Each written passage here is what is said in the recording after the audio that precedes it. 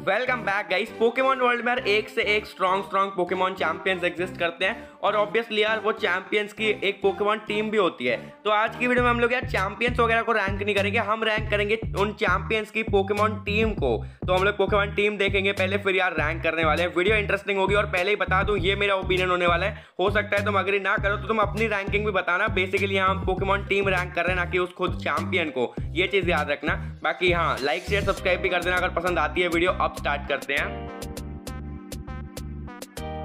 Okay तो सबसे पहले यार हम लोग सारे के सारे पोकेमोन चैंपियंस की टीम को देख लेते हैं। उसके बाद में हम रैंक करेंगे। सबसे पहले आता है कैंटो और जोटो दोनों का चैंपियन यानी कि लैंड अब लैंड की जो पोकेमोन टीम है, वो भाई छह पोकेमोन्स ये हैं। सबसे पहले आता है गैराडोस इसको हमने एनिमे के अंदर भी देखा है, जो कि डायनामिक्स फॉर्म में भी आ सकता है। काफ़ी ज़्यादा पावरफुल है। इसके बाद नेक्स्ट आता है ड्रैगनाइट इसको भी हमने एनिमे में देखा है, लेकिन हमने एनिमे के अंदर सिर्फ़ लैंड का एक ही ड्रैगनाइट देखा है, जबकि इसकी टीम में भाई टोटल तीन ड्रैगनाइट है, यानी कि वो वाले ड्रैगनाइट के अलावा दो और हैं। टोटल तीन ड्रैगनाइट हैं। इसके बाद यहाँ पे नेक्स्ट आता है एरोडेक्टाइल एरोडेक्टाइल एक काफ़ी बढ़िया और पावरफुल सा फॉसिल पोकेमोन है तो ये भी काफ़ी हेल्प करता है इसकी टीम में, सही में। एक नेक्स्ट आता है चारिजार्ड ये भी भाई काफ़ी ज़्यादा पावरफुल है यार, सही में। तो हाँ ये है भाई टोटल छह पोकेमोन की टीम यहाँ पे भाई लैंस की टीम एक्चुअली काफ़ी बढ़िया है, क्योंकि तीन ड्रैगनाइट से उसको कोई नुकसान नहीं हो रहा। उल्टा भाई तीनों के 600 से ज़्यादा स्टैट्स होते हैं, बहुत ज़्यादा बीस है तीनों तो ओवरऑल टीम काफ़ी बढ़िया है। नेक्स्ट आता है यहाँ पे होएन का चैंपियन स्टीवन स्टीवन का भाई टीम में सबसे पहला जो पोकेमोन है, वो है उसका मेटिक्रॉस जो कि उसका सबसे मेन सबसे आइकॉनिक सबसे स्ट्रॉन्गेस्ट पोकेमोन है यार सही में। इसकी पावर लेवल तो भाई बिल्कुल नेक्स्ट लेवल है यार। ये मेगा इवॉल्व तक हो सकता है और मेगा इवॉल्व के बाद इसके स्टार्ट सेवन चले जाते हैं लेजेंडरी जितने। भाई बहुत बीस्ट है यार सही में ये।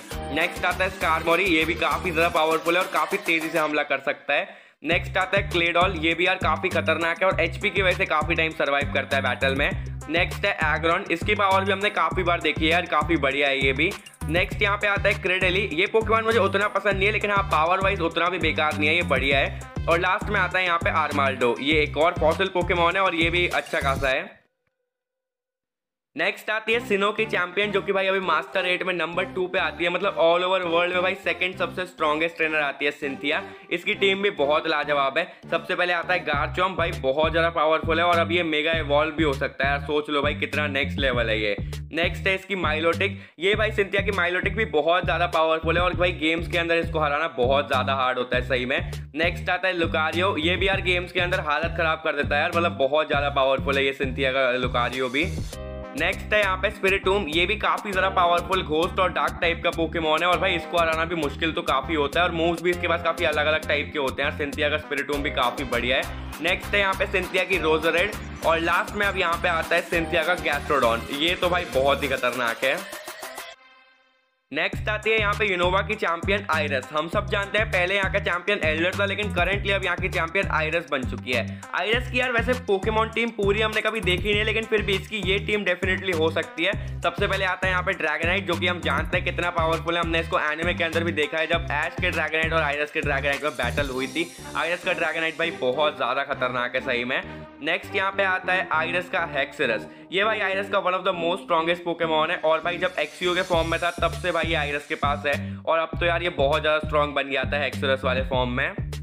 नेक्स्ट आता है आयरस का गार्चोम अब देखो हमने आयरस का गार्चोम देखा तो नहीं है भाई कभी, लेकिन हाँ यूनोवा के अंदर उसके पास एक गिबल था जो कि अभी तक मुझे लगता है डेफिनेटली इवॉल्व हो गया होगा, क्योंकि अभी काफ़ी ज़्यादा टाइम हो चुका है यार। अब उसका एक्सी इवॉल्व हो गया एक्सरस में तो डेफिनेटली उसका गिबल भी यार अब तक गार्चोम बन गया होगा। और डेफिनेटली यार, अगर वो एक चैंपियन को चैलेंज करने जा रही है तो अपनी टीम में एक गिबल को लेकर तो जाएगी नहीं, एक गार्चोम लेके जाएगी, तभी जीती होगी भाई चैंपियन से एल्डर से जीती होगी। तो डेफिनेटली मुझे लगता है गार्चोम उसकी टीम में होगा, हालाँकि हमने उसको देखा नहीं है अभी तक। और नेक्स्ट यहाँ पे आता है आयरस का एक्स का ड्रिल ये भी एकदम कंफर्म पोकेमोन है एनिमे के अंदर हमने इसको भी देखा है और ये भी बहुत ज़्यादा बढ़िया पोकेमोन है. और लास्ट में यहाँ पे आता है इमोल का ये काफ़ी प्यारा सा पोकेमोन है यार आयरस का और ये भी अच्छा खासा पावरफुल है. नेक्स्ट आते हैं कार्लोस के चैंपियन डियान था काफ़ी लोग यार पहले इसको बहुत अंडर एस्टिमेट करते थे, लोग इतना स्ट्रॉन्ग नहीं मानते थे, लेकिन जब से यार इसने एनिमे के अंदर लैंस को हरा दिया ना भाई, सबका ओपिनियन एकदम ही चेंज हो चुका है। इसकी टीम यार काफ़ी ज़्यादा स्ट्रॉन्ग है, इसकी टीम के छह पोकेमॉन्स सबसे पहले आता है इसका हाउलूचा ये बहुत खतरनाक पोकेमॉन है कार्लोस से भाई, काफ़ी पावरफुल है एश के पास देखा ही होगा सबने। इसके बाद नेक्स्ट यहाँ पे आता है टायरेंट्रम ये भी यार कार्लोस का one of the most strongest Pokemon है, ये एक फॉसिल पोकेमोन है और भाई सही में इसके पास एक से एक मूव्स रहते हैं, काफ़ी तगड़ा है ये। नेक्स्ट यहाँ पे आता है आयरस का ऑरोरस और उसको भाई हमने एनिमे के अंदर भी देखा है, जहाँ पे इसने भाई ड्रैगनाइट को, जो लैंस का ड्रैगनाइट था, उसको बहुत ज़्यादा अच्छी टक्कर दी थी। हालाँकि भाई ये हार गया था बट हाँ स्टिल पावरफुल ये काफ़ी ज़्यादा है। नेक्स्ट यहाँ पे आता है डियांथा का गॉर्गेस भाई ये बहुत ज़्यादा तगड़ा है, और एनिमे के अंदर तो इसने लैंस के गैरडोस को हरा दिया था। गैरडोस कितना तगड़ा है, सब हम जानते ही है। तो भाई, सोच सकते हो गॉर्गेस बहुत ज़्यादा पावरफुल है एक्चुअली में नेक्स्ट यहाँ पे आता है गुडरा जो कि एक सूडो लेजेंडरी पोकेमोन है. कार्लोस का स्टैट्स वाइज भी बहुत तगड़ा है और पावर भी अच्छी खासी है इसकी.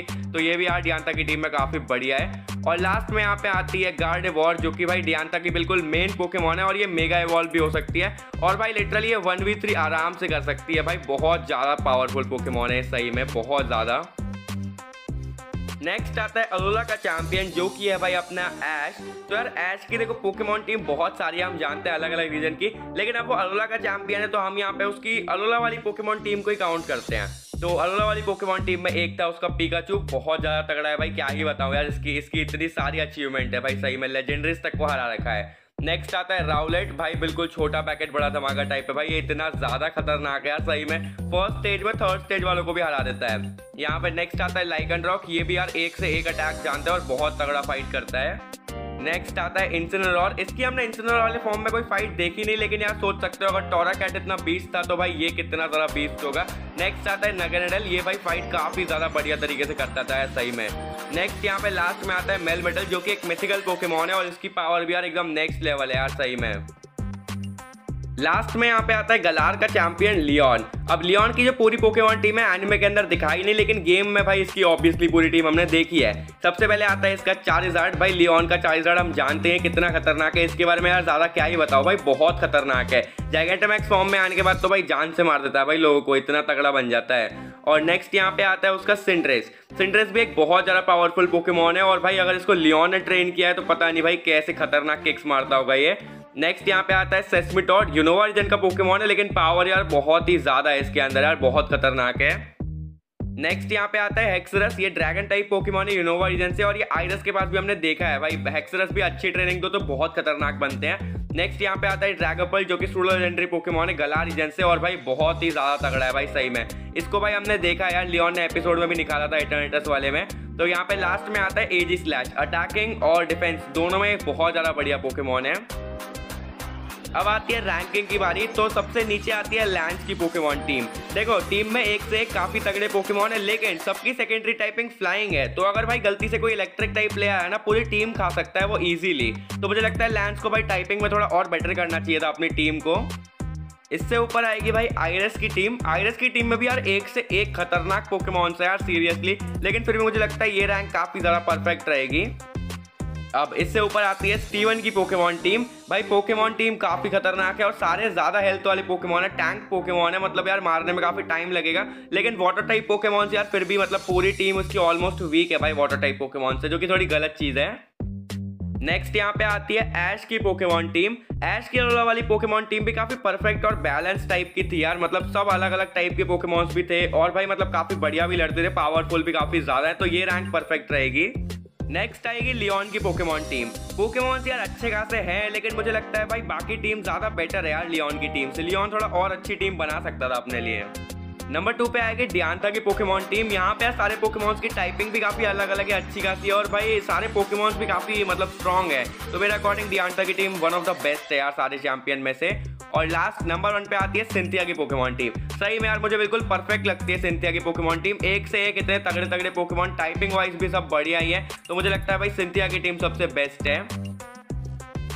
अब मैंने पहले ही बोला था, मेरा ओपिनियन है ये, तुम्हारा अलग भी हो सकता है। अगर अग्री नहीं करते तो कमेंट में ज़रूर बताना और तुम्हारी अकॉर्डिंग रैंकिंग बताना। मतलब तुम्हें किसकी टीम ज़्यादा अच्छी लगती है? भाई मैंने बता ही दिया सबकी टीम क्या है। तो लाइक शेयर सब्सक्राइब भी कर देना। मिलूँगा अगली वीडियो में। तब तक के लिए बाय बाय